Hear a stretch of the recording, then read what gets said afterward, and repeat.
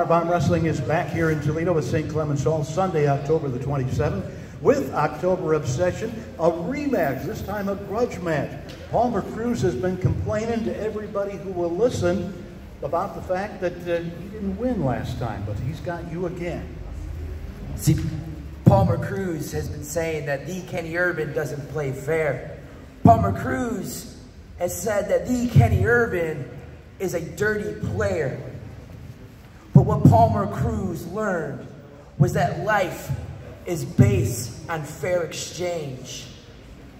And all that the Kenny Urban did was give him exactly what he deserved. Pretty much that's the case. And they will go at it again Sunday, October 27th, grudge match between Kenny Urban and Palmer Cruz.